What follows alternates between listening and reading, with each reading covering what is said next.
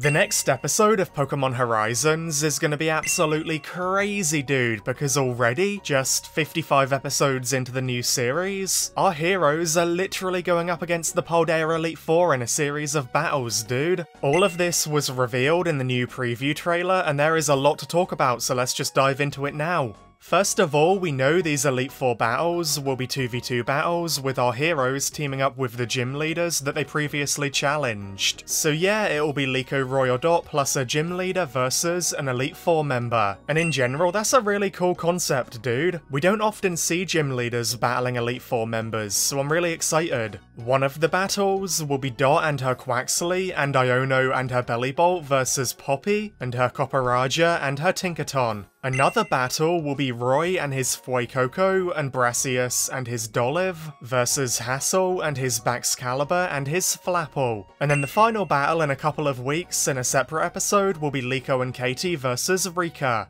The preview trailer for the next episode also showed Coral, Kofu, and Larry, so I'm gonna guess that we'll also see Coral and Kofu versus Larry as well. So first of all, before we talk about anything else, let's get the possible problems with all of this out of the way now, and then we can move on to the hype exciting stuff, you know? So we know the next episode will somehow be cramming three Elite Four battles in one episode, Roy versus Hassel, Dot versus Poppy, Coral versus Larry, and that is bound to be a huge issue, dude. It kinda makes it obvious that these battles are gonna be pretty rushed, unfortunately. The pacing will probably be not so great, since somehow three battles have to fit in one episode. And if I'm brutally honest, too, the preview trailer kind of showed that the animation is not really anything to write home about either. Like, the animation isn't bad, but it's not really like that crazy from what we saw already. But we do know that the episode after next episode is going to be entirely focused on Liko and Katy versus Rika, so I'm assuming they're saving all of their budget, all of their animation, all of their wow factor for that battle, for that episode, you know? So yeah, Liko versus Rika is gonna go hard, definitely.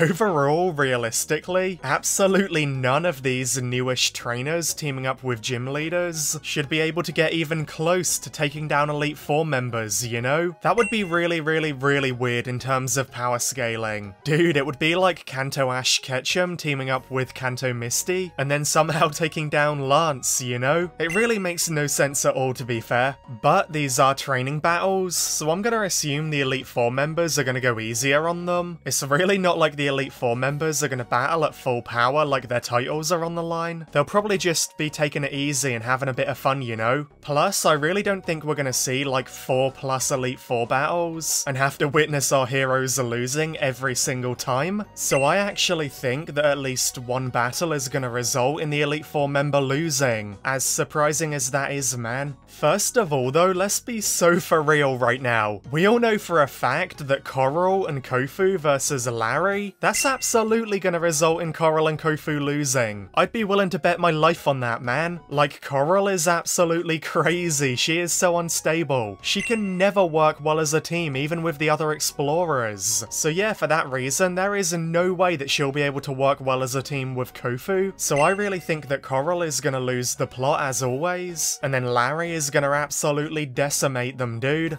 And while we're talking about losses, I also think that Roy and Brassius are gonna lose against Hassel. I don't know man, I just can't picture that little cute Fuecoco and Dolliv taking down two Elite Four Pokemon. Maybe that makes me judgmental, especially since Ash's Pikachu took down the world champion. So like, you shouldn't judge a Pokemon by their looks, you know? But simultaneously, we can all admit that Roy's Fuecoco is not quite Ash's Pikachu. Not yet anyway, I believe in the little guy, he'll get there someday. But for now, I think Roy and Fuecoco are definitely gonna lose. We can hope and pray they'll put up a good battle at least though, you know? So now let's talk about Dot and Iono versus Poppy. I really think this is gonna be the battle that surprises everyone, dude. Like realistically, although Dot and Iono probably should lose against Poppy, I do really feel like they have the biggest chance of winning out of all of these battles, you know? And that's all because Dot and Iono have been friends and colleagues and have worked together for years. Dot and Iono are really close and familiar with each other, you know? They're really on the same wavelength. I think they'll be able to work together amazing as a team, and I think that's to shine through through and allow them to defeat Poppy. Plus, in general, Dot is a more knowledgeable and skilled trainer than Liko and Roy are, and Iono is definitely a stronger gym leader than Brassius and Katy, you know? And it's also worth mentioning that Poppy's the youngest and least experienced Elite Four member, so yeah, I really feel like Dot and Iono are gonna work together amazingly as a team and defeat Poppy, man. Maybe Poppy being the youngest won't take the battle as seriously and will kind of be having fun with it. So yeah, for all of those reasons, that's what I think, you know?